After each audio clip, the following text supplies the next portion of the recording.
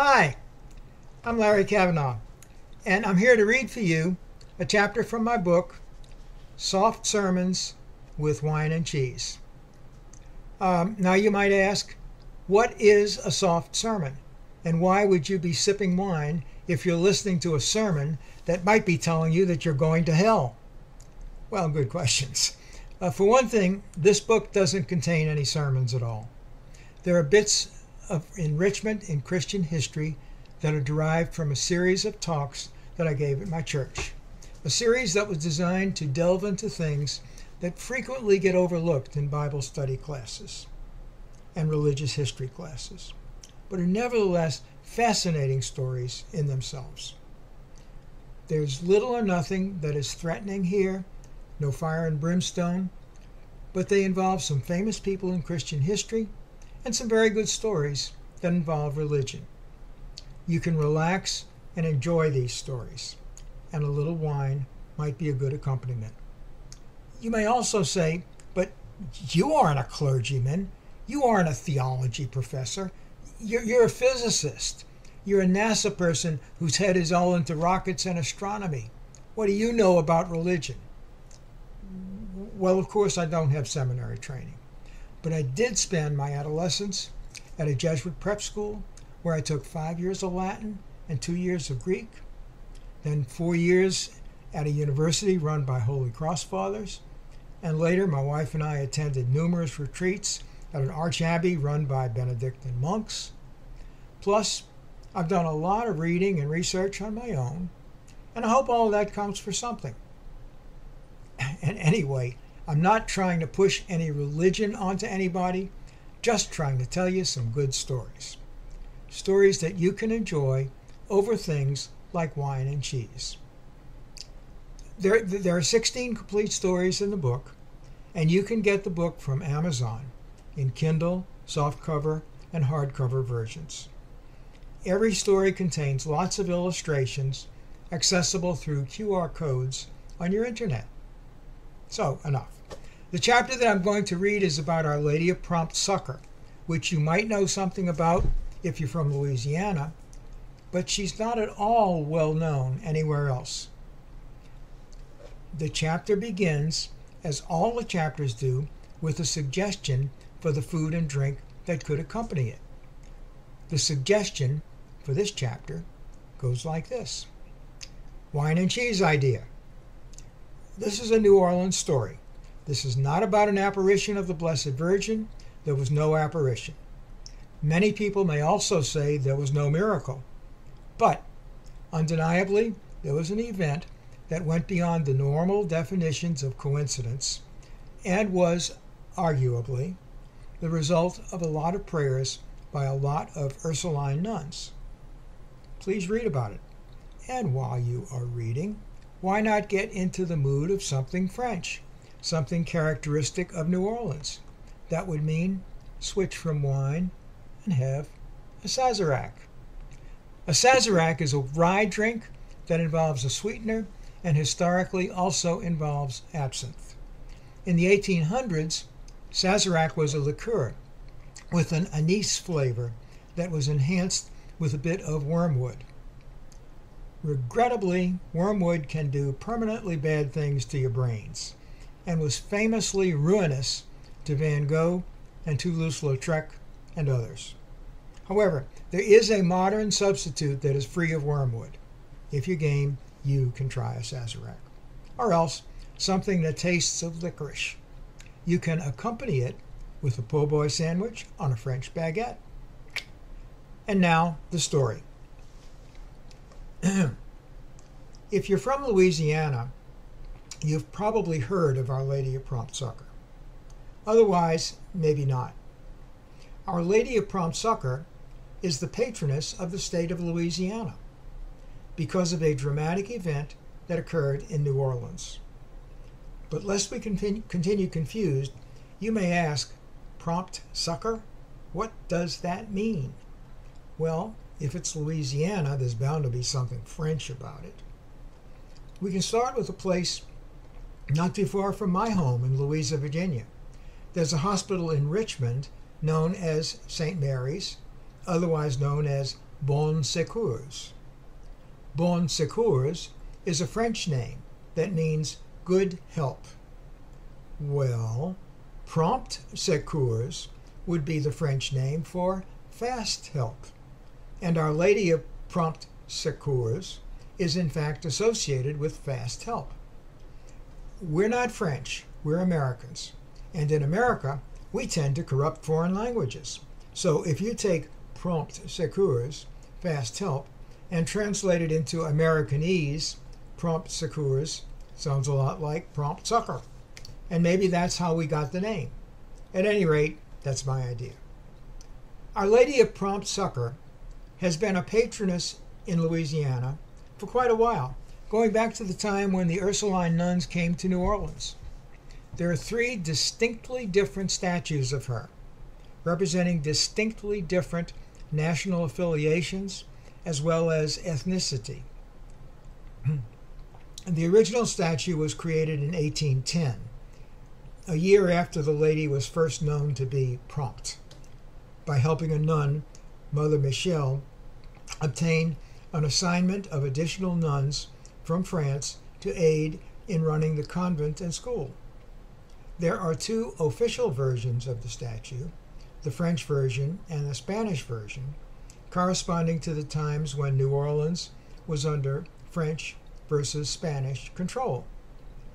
But there's also a Creole version where she is cast as Creole, holding her baby Jesus, who is also Creole, and recognizing the fact that the Ursulines established a school that was for everybody, not just white Europeans, but also including Creoles. To get the whole story right, we have to begin with the origin of the Ursulines.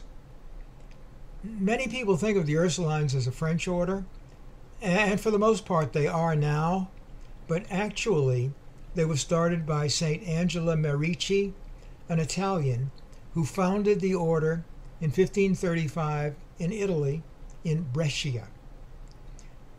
St. Angela Merici was very strong on the idea of teaching young girls. And the reason why she founded this order was specifically to teach girls. When you understand that the whole Ursuline establishment is founded primarily on teaching girls, then you'll see why they call themselves Ursulines. Their namesake and patroness is Saint Ursula, a saint from Roman times, about 383 AD and she was a martyr. She was very wealthy in her own right, and she was engaged to marry a person who was also wealthy. Prior to her engagement, she converted to Christianity. As the story goes, Ursula was going to her wedding accompanied by 11,000 female escorts, all young girls. Along the journey, they were waylaid by t- pagans, and St. Ursula and all 11,000 of her companions were martyred for the sake of Christianity because they refused to give up their faith.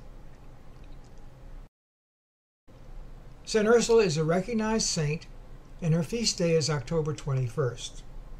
However, over the course of the last century, the Catholic Church has begun to question the actual story of St. Ursula, as well as those of several other saints from older times there is some possibility that there may not have actually been a real St. Ursula.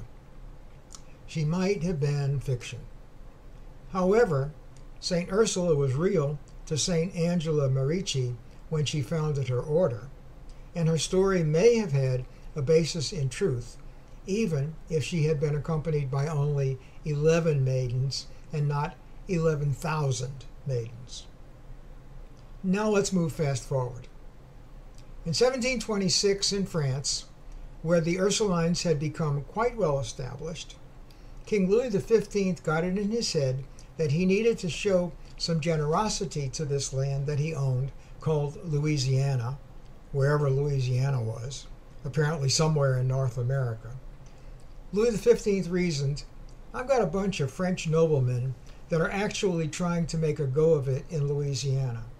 So I shall decree that three nuns from the Ursulines shall depart from Rouen to New Orleans, and their mission shall be to provide an education for the young girls of wealthy families over there.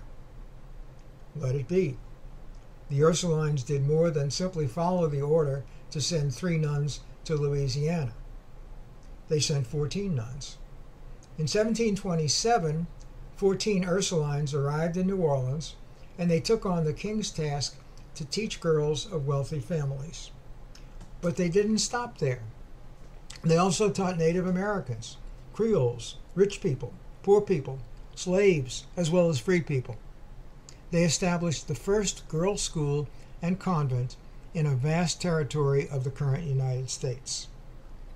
From this beginning in 1727 through 1763, they grew under French control. In 1763, Louisiana fell under Spanish control, which is why there is a statue of Our Lady of Prompt Succor with a Spanish motif. Around 1800, the territory came back to France. However, this was a major problem for the Ursulines. Napoleon was in charge in France in 1800, and he was harsh to Catholics. In France, Napoleon was holding Pope Pius VII in prison, and he made life virtually impossible for all the Ursulines. Many of them fled Louisiana to Havana and other places. In 1803, when the United States purchased Louisiana from France and the territory came under United States control, this was a startling new thing. The United States was founded on the principle of religious freedom for everybody. The Ursuline nuns were invited by the new government to come back to Louisiana to continue their school. They knew nothing about the United States and they were frightened. And so, the head of their order, their Mother Superior, Sister Therese de Saint Xavier, wrote to the President of the United States and got a letter of reply. This is what Thomas Jefferson wrote to the Mother Superior. I've received, Holy Sisters, the letter you have written me, wherein you express anxiety for the property vested in your institutions by the former governments of Louisiana. The principles of the Constitution and government of the United States are a sure guarantee to you that it will be preserved to you sacred and inviolate, and that your institution will be permitted to govern itself according to its own voluntary rules, and that your institution will be allowed to be protected from the civil authority. Be assured it will meet all the protection which my office can give it. Signed, Thomas Jefferson.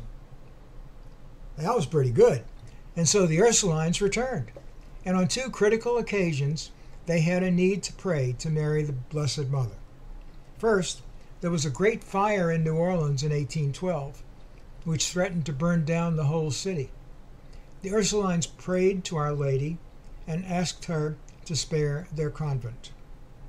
Amazing as it may seem, the Great Fire, which decimated a huge part of the city, including the famous Vieux Carré, stopped when it reached the Ursuline convent and did not burn any part of it. It burned everything up to it, but it did not burn the convent. Three years later, in 1815, the Battle of New Orleans was being fought, and Andrew Jackson, with a small force of about 6,000 men, was facing the British with a force nearly triple in size. They were just outside the city, in a place called Chalmette. And the Ursulines prayed again to our Blessed Lady, Save us. And there was another miracle. Andrew Jackson didn't have enough troops to beat the British, but the British, by mistake, because it was foggy, marched into a swamp, and almost all of them drowned. 15,000 British soldiers on the plains of Chalmette, helpless in a swamp and that gave Andrew Jackson his victory. Thanks again to Our Lady of Quick Help when they needed it. Several paintings have been drawn commemorating the double miracles of escape from the 1812 fire and escape from the British in 1815.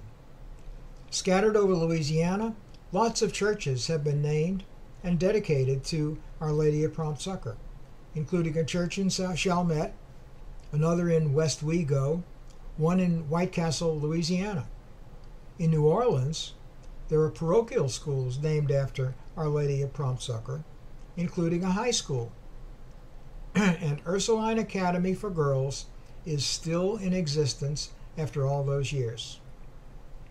Adjacent to the academy is the Ursuline Convent and the National Shrine of Our Lady of Prompt Succor. Something else that keeps Our Lady of Prompt Succor still visible to New Orleans is the fact that she's the one you pray to when there's a hurricane. And if you go to New Orleans at Mardi Gras time, watching one of the many parades, and hold up your arms shouting, Throw me something, mister, you might catch a doubloon stamped with the image of the lady. In fact, I've also seen a set of Mardi Gras beads marked, marked with the prompt succor tag. In Louisiana, particularly around New Orleans, she's everywhere. That's it. I hope you enjoyed this chapter. For the other 15 stories in the book, Amazon stands ready to sell you a copy for your Kindle or a paperback or hardcover copy. If you don't like the book, I doubt that Amazon would give you your money back, but the book will look good on your shelf. Thanks for watching and have a great day.